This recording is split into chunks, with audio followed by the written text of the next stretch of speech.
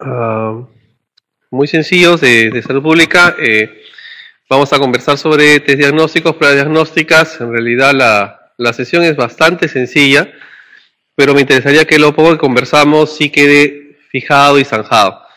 Eh, hasta ahora, de lo que yo recuerdo, siempre hay por lo menos una pregunta en los exámenes de admisión a residentado del ENAM sobre este tema, así que vale la pena que le demos de todas maneras una ojeadita y los conceptos no son muchos, así que eso es lo que vamos a tratar de revisar.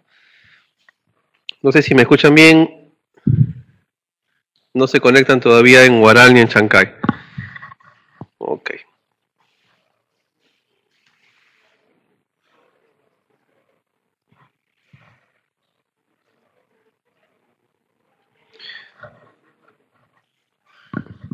Bien, para empezar, eh, todos sabemos de que la normalidad es un concepto que no es nada definido, sino es una cosa más o menos etérea, eh, definida básicamente por quienes van a utilizar el concepto. O sea, no es que uno diga es 1 más 1, 2, y 2 más 2, 4, eso es matemática y es muy sencillo de entenderlo. En cambio, normalidad es algo que uno va a definir prácticamente a priori en base a algunos antecedentes o datos previos.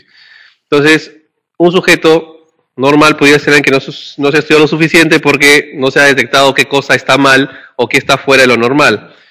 Eh, y en ese, en ese sentido, nosotros podemos tener una imagen en donde vemos que acá cuál podría ser el, el grupo o el sujeto no normal o anormal. ¿Cuál? ¿De qué color son el grupo no normal? Vamos, despierten. ¿Qué grupo es no normal? ¿O qué grupo es normal en todo caso? ¿Qué grupo es normal entonces? Más fácil. La mayoría. Lo rojo es lo normal. ¿Están de acuerdo? ¿Pero por qué? ¿Quién define que el grupo rojo es normal? ¿Por qué la mayoría es normal? ¿Por qué la excepción no es lo normal? Entonces, lo primero que tienen que entender es que ese concepto de normalidad lo definimos nosotros, ¿sí? Y en base a ciertos criterios. Entonces, ustedes dicen que por mayoría lo normal es lo rojo. Ok, entonces su criterio de normalidad es que sea la mayoría del grupo.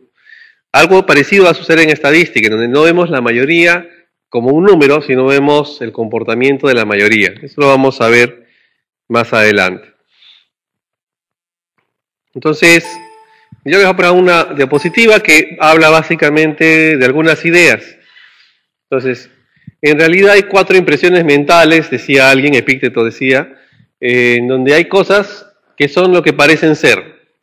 ¿Sí? Se entiende, ¿no es cierto? Hay cosas que nosotros vemos, parecen ser una cosa y lo son. ¿De acuerdo? Entonces yo miro esa pared, parece blanca, es blanca.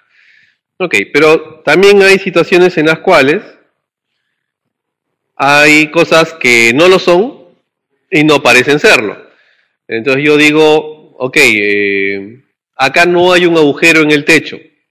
Eso parece, parece que no hay ningún agujero. Y efectivamente no hay ningún agujero en el techo. Entonces hay cosas que parecen serlo y lo son, y cosas que no parecen serlo y no lo son.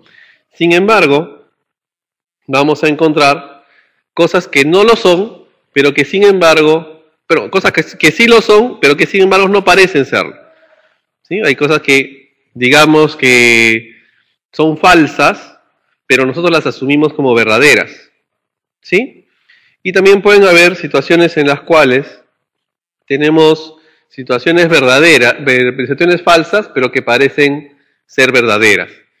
Entonces, ¿qué ocurre? Nosotros lo que necesitamos en todo momento es poder identificar cuándo nos vamos a equivocar cuándo vamos a acertar. Y eso tiene que ver con todo lo que nosotros hacemos en medicina al aplicar las pruebas de test diagnóstico. Y, y sobre eso vamos a hablar ahora. Por ejemplo, si yo voy a utilizar exámenes de laboratorio, si utilizar exámenes de laboratorio, ¿de qué estaría yo hablando? ¿Es una prueba diagnóstica o no? Hacen la mano. ¿Quién dice que sí es una prueba diagnóstica? Están catatónicos hoy día. Ok, ya, alzaron el dedito algunos. Entonces, sí es una prueba diagnóstica. ¿La información clínica en la historia clínica será una prueba diagnóstica o no? ¿Sí o no? ¿Quiénes dicen que no? ¿Alguien se opone? ¿La información clínica es una prueba diagnóstica?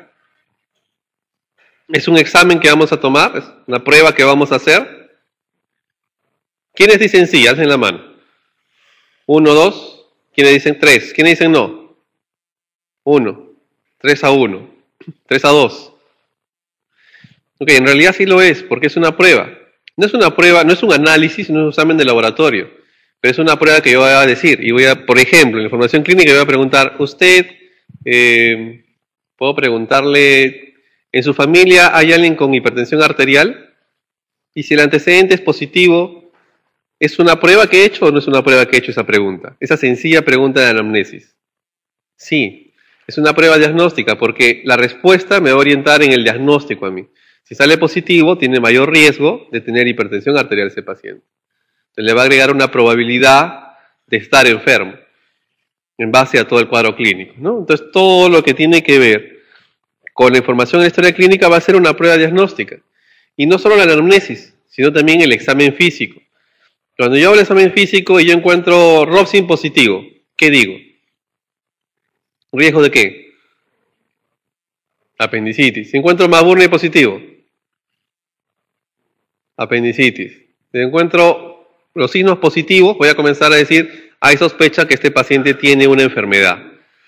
Entonces, eh, toda, ya no es, no es el examen de laboratorio, sino es todo aquello o toda aquella información que yo pueda obtener y que me ayude a mejorar mi posibilidad de hacer el diagnóstico del paciente, de que tenga o no tenga la enfermedad, todo eso en realidad es una prueba diagnóstica. La prueba diagnóstica puede ser un examen de laboratorio, puede ser una pregunta sencilla o puede ser inclusive el examen físico como tal. ¿Sí? Más ejemplos. Esto sí obviamente es una prueba diagnóstica, cualquier prueba de imagen. Ahora, ¿qué cosas son los conjuntos de hallazgos? ¿Cómo se llaman esos? ¿Cuáles son los hallazgos conjuntos? Cuando tienen 3, 4, 5 hallazgos, los síndromes o síndromes. ¿Los síndromes son pruebas diagnósticas o no? ¿Quién dice sí? Los despiertos nomás opinen, obviamente. Sí. ¿Quién dice no? ¿Quién se atreve a decir no ahora? Ya no quieren ya. ¿Por qué no? Porque en realidad, si ustedes juntan varios signos, varios hallazgos, en realidad lo que están haciendo es tratar de aproximarse al diagnóstico. Entonces, cuando ustedes hablan de pruebas diagnósticas, Estamos acostumbrados a decir, ok, la muestra de sangre, la radiografía, la ecografía. No solamente los métodos auxiliares, sino puede ser cualquier pregunta, cualquier cosa que yo haga para tratar de llegar al diagnóstico se convierte en una prueba diagnóstica.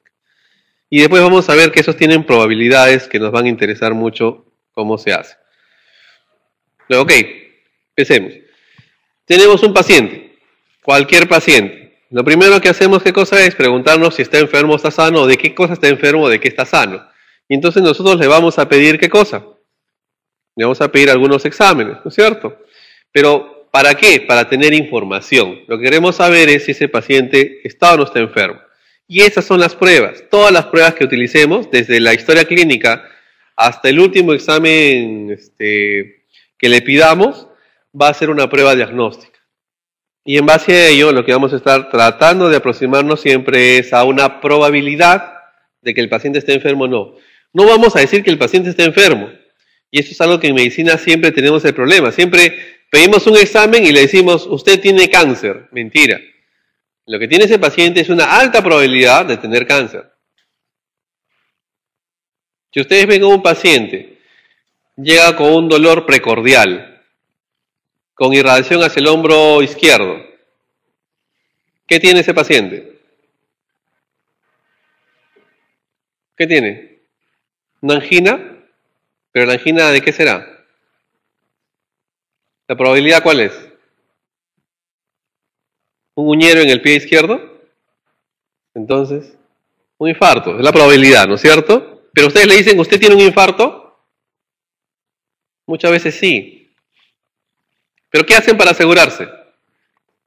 ¿Qué le piden? un EKG. Si sale el EKG positivo, una desviación, ¿qué dicen? ¿Tiene infarto o no? Probablemente. Ya, ¿qué más le piden para asegurarse? Enzimas, ya le pidieron sus enzimas, salieron elevadas. ¿Tiene infarto o no? ¿Sí o no? Están discutiendo ahí a ver si, si tiene o no tiene infarto. ¿Cuándo ustedes dicen sí tiene un infarto?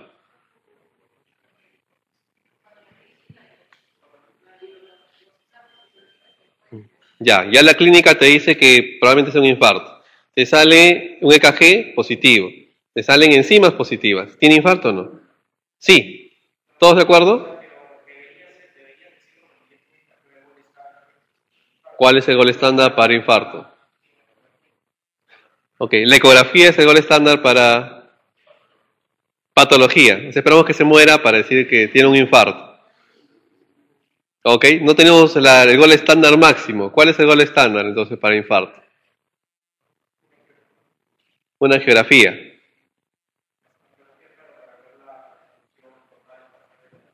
Perfecto. Quiere ver si hay obstrucción parcial. Quiere ver el grado de obstrucción. Ok. ¿Y quién le va a pedir esa prueba al paciente? De acá de los presentes, ¿quién le pediría esa prueba? ¿Alguien? ¿Por qué no se lo pedirían? No es práctico. ¿Por qué no es práctico? Muy caro ya. ¿Por qué más no se lo pedirían?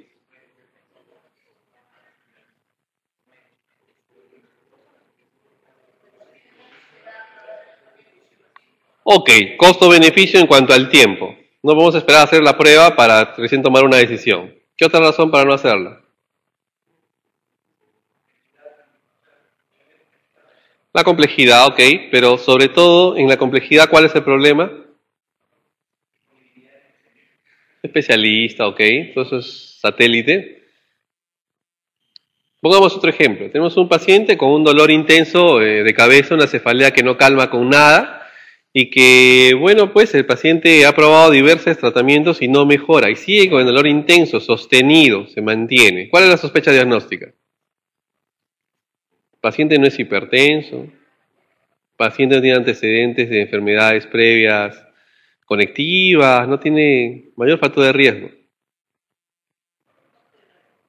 Ajá, sospechan de un tumor cerebral. ¿Por qué sospechan de un tumor cerebral? Solo les dado un signo.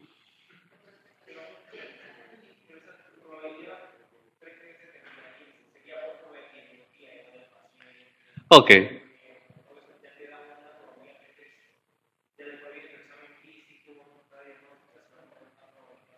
Perfecto. Estamos empezando una probabilidad inicialmente que le dije tiene un dolor intenso que no se ve. Y luego les comencé a decir, ¿no?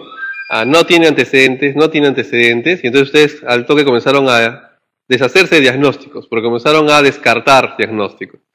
Entonces les quedó, sin saber la edad, sin saber el sexo, les quedó como una muy buena posibilidad el tumor cerebral por el tipo de dolor, ¿no es cierto? Entonces, ¿cómo se asegurarían que es un tumor cerebral? ¿Una tomografía? ¿Con una tomografía diagnostican tumor cerebral? Diagnostican masa. Una biopsia. Ok, ¿quién le hace una biopsia a ese paciente?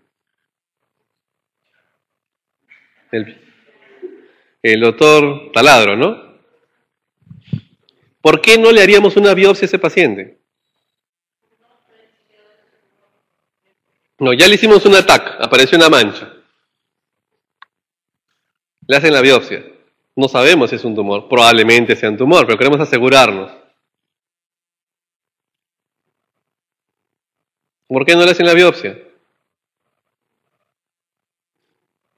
Aparte que pues sea caro, demora, no ser especialista, ¿por qué principalmente no le harían la biopsia a ese paciente? El alto riesgo. Por hacerle una biopsia, por asegurarse el diagnóstico, lo que van a tener ustedes es incrementar el riesgo de muerte de ese paciente. Entonces, más daño que beneficio. que es un poco lo que decían en complejidad de exámenes y todo, ¿no? Mientras más complejos los exámenes, usualmente, mientras más invasivos, el riesgo para el paciente es mayor. Entonces, son algunas de las cosas que tenemos que tener en cuenta al momento de decidir por un examen, por una prueba. Ok, entonces, yo para interpretar una prueba diagnóstica, un resultado, tengo que hacer uso de mi juicio clínico, tengo que hacer uso de lo que esté publicado, de los datos que estén diciéndome de cuán bueno o mala es esa prueba. Eh, tengo que organizar esa información y tengo que tener algunos principios básicos para, para ese análisis en particular. ¿no? Entonces hay algunos criterios que yo tengo que tener en cuenta para saber si mi prueba vale la pena o no vale la pena para tomar la decisión o cuánta fuerza tiene.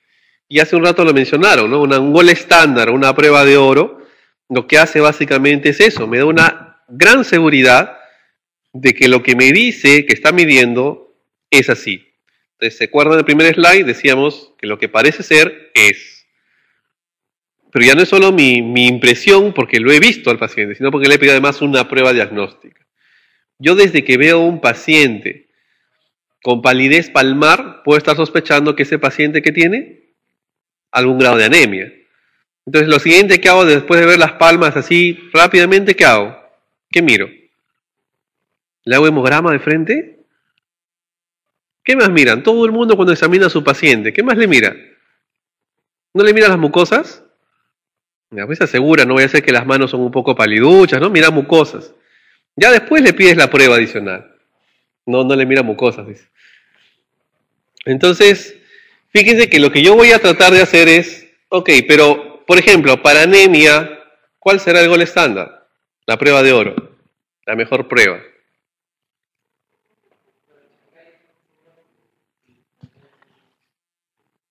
Ah, ok, Chancay quiere un resumen. Bien. Eh, bueno, mientras ustedes piensan la respuesta en el gol estándar de Matocrito, vamos a contarles en 10 segundos a Chancay qué cosa hemos avanzado. Ok, para los de Chancay. Lo que hemos visto sencillamente es que nosotros tenemos pruebas diagnósticas y todas las pruebas diagnósticas en realidad son nada más que formas de aproximarnos hacia eh, si el paciente está enfermo o está sano. Eh, estas pruebas diagnósticas pueden ser desde lo más sencillo, una pregunta al paciente, hasta lo más complejo, que es una prueba invasiva, hasta una biopsia inclusive. Pero todo aquello que nos ayude al diagnóstico del paciente va a convertirse en una prueba diagnóstica. Estas pruebas tienen ciertas características que vamos a ver hoy día. Una de ellas, o no una característica, pero un detalle previo, es que nosotros debemos identificar cuál es la mejor prueba, cuál es el gol estándar. Entonces ahora yo les preguntaba, aquí en Lima, y les pregunto también en Chancay, espero que respondan, ¿cuál es el gol estándar para diagnosticar anemia?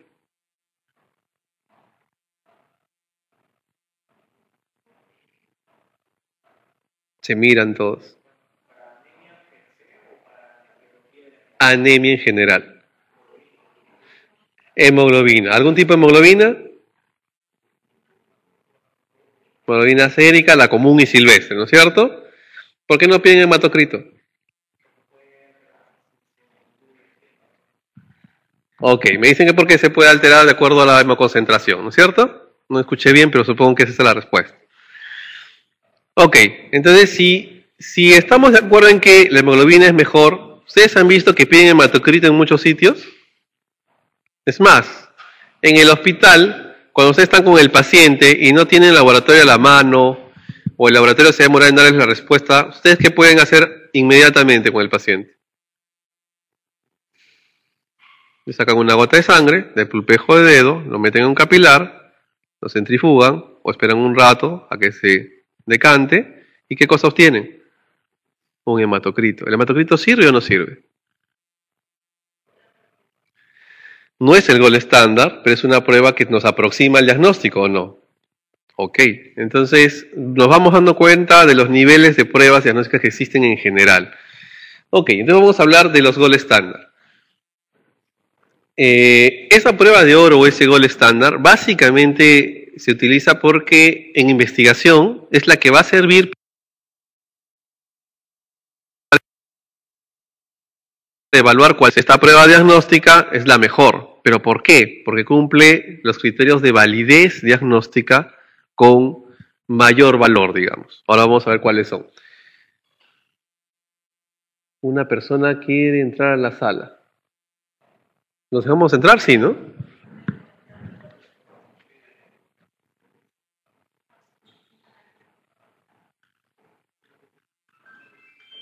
¿Permitir a todos?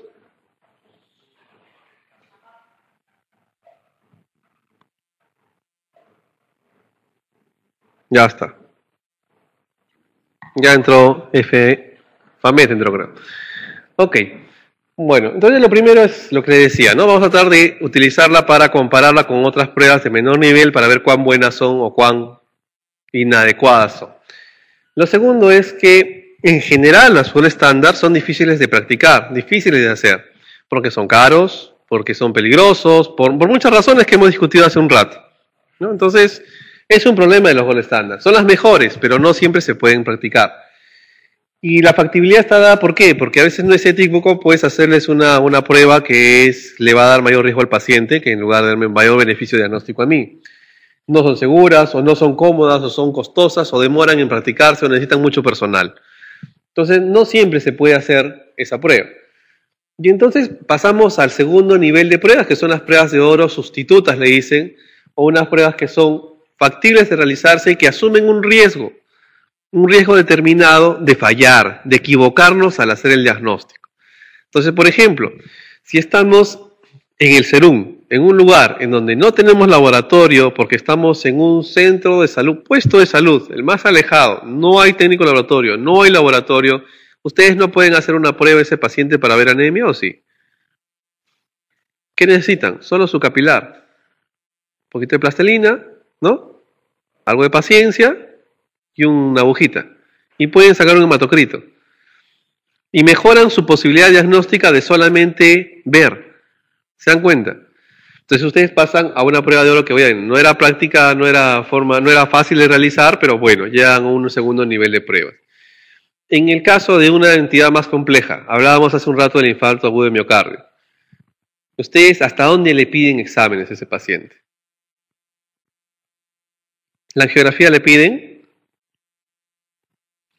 No le piden la geografía. ¿Hasta dónde le piden? Hasta las enzimas, ¿no? Pero enzimas, si es que están ustedes, ¿en dónde? ¿Enzimas le pueden pedir si están en un centro de salud? ¿En el centro de salud tienen EKG? Depende del nivel y depende del centro de salud. Pero si lo tienen, le toman el EKG y con eso diagnostican o no. Con eso asumen el diagnóstico. Entonces va a depender en qué situación están y ustedes asumen un riesgo en su decisión, pero en base a lo que tienen. Entonces esas son las pruebas intermedias o pruebas de oro sustitutas que van a ir tomando en el tiempo. Obviamente, la ideal va a ser la que tiene por lo menos hasta enzimas, pero si no disponen de ella, tienen que llegar con lo mínimo que, tienen a la mano. Entonces el ejemplo que yo les puse era este de aquí, ¿no? Tiene un infarto, le hacen un CKG, le toman las enzimas, pero ustedes deberían estar haciendo una cateterización mínima, una geografía, ¿no?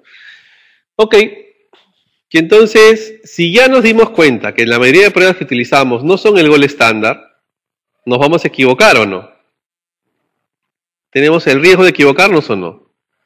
Entonces, ese es el problema. Pues. Ese es el problema en medicina. ¿Cuánto riesgo yo asumo para poder equivocarme o cuánto riesgo de acertar voy a asumir? Entonces, ese es todo el chiste al momento de hablar de pruebas diagnósticas.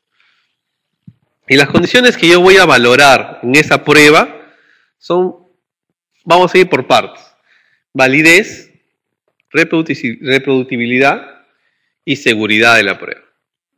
Ok, primero vamos a ordenarnos. La validez, ¿qué cosa es? Es si esa prueba mide lo que dice que está midiendo, nada más que eso. Y para eso tenemos dos valores, sensibilidad y especificidad. Reproductividad, ¿qué cosa es? Es cuántas veces yo repito la prueba y me da el mismo resultado. No me interesa si es válido, me interesa que el resultado se repite. Y en tercer lugar vamos a hablar de seguridad, que me viene, ok, si yo ya tengo un resultado, ¿cuál es la probabilidad de que ese resultado sea cierto? ¿Sí? Son tres aspectos que yo voy a evaluar en los test diagnósticos y cada uno tiene una connotación particular. Si entendemos hasta aquí, viendo todos los ejemplos, suficiente y nos damos por servidos en la clase, porque eso es lo más importante. Después estos son detalles. Ok, entonces vamos a ir primero por lo que es validez. Hola. Ok, entonces ¿cuán buena es la prueba para identificar personas que tienen la enfermedad o que no tienen la enfermedad. Si vemos de todos los enfermos que existen, ¿cuántos son identificados por la prueba? ¿Qué cosa es eso? Sensibilidad. O sea, la sensibilidad está dada por la posibilidad de que mi prueba identifique entre todos los enfermos a los que realmente están enfermos. O sea, de todos los enfermos que habían, ¿cuántos mi prueba dijo que eran positivos? Esa es mi sensibilidad. Y mi especificidad está dada por el otro lado. O sea, de todos los sanos, ¿cuántos fueron identificados por mi prueba? Entonces, esos dos valores lo que son son propiedades intrínsecas de la prueba diagnóstica. ¿Cómo así? Si yo eh, hiciera cualquier cambio en el medio, en los pacientes, los resultados de sensibilidad y especificidad no varían. ¿Por qué? Porque estos dos valores dependen exclusivamente de mi prueba. Yo puedo poner pacientes más graves y la sensibilidad no cambia. Puedo poner pacientes mucho más leves y la sensibilidad y especificidad no cambian. O sea, la posibilidad de que la prueba mida lo que dice que está midiendo no varía, no cambia. Ni en el caso de los verdaderos enfermos, ni en el caso de los verdaderos sanos. ¿Sí? Eso es lo que hay que tener primero en cuenta cuando hablamos de validez. Quedando eso claro, nosotros podemos darnos cuenta de que este slide que es puro bla, bla, bla, bla, bla, no es más que lo que les acabo de decir yo en este momento. ¿Sí? Entonces, validez asociado a qué? Sensibilidad y especificidad, primero. Segundo, la validez es una característica intrínseca de la prueba diagnóstica. ¿Sí? Tercero, no varía con ninguna condición que esté fuera de la prueba diagnóstica. Es decir, no varía ni con los pacientes, ni con la prevalencia, ni con el medio ambiente, solo varía con la prueba en sí. Entonces, ¿cómo podrían ustedes modificar los valores de sensibilidad y especificidad si mejoran su proceso de medición, por ejemplo? Pues eso no depende del paciente ni del medio, eso depende de la prueba en sí. Si ustedes mejoran sus condiciones, sus reactivos, ustedes están cambiando las condiciones de la prueba. Si ustedes dicen, yo voy a determinar a ciertos valores de glucosa los pacientes que tienen eh, eh, hiperglicemia, si yo le bajo el punto de corte a, mi decisión de si es hiperglicemia o no, yo voy a cambiar mi posibilidad de decir sensibilidad y especificidad, porque estoy modificando la prueba. ¿Sí? Entonces, todo aquello que modifique la prueba va a cambiar sensibilidad y especificidad. Todo aquello que no modifique la prueba no le hace nada a la validez de la prueba diagnóstica. ¿Sí? Eso es lo que tiene que quedar claro. Fuera de eso, no es importante nada más por ahora. ¿Claro hasta ahí? Sí.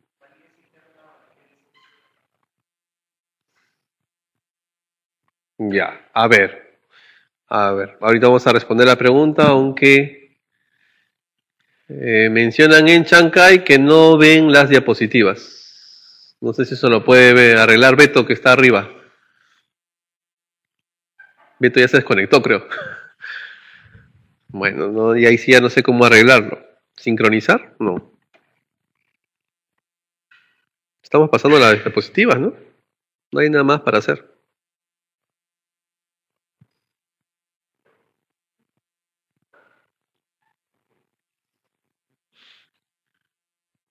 Bueno, lamentablemente en Chancay no sé cómo arreglarlo. Vamos a poner una pausa en este momento, ¿sí? Un segundito.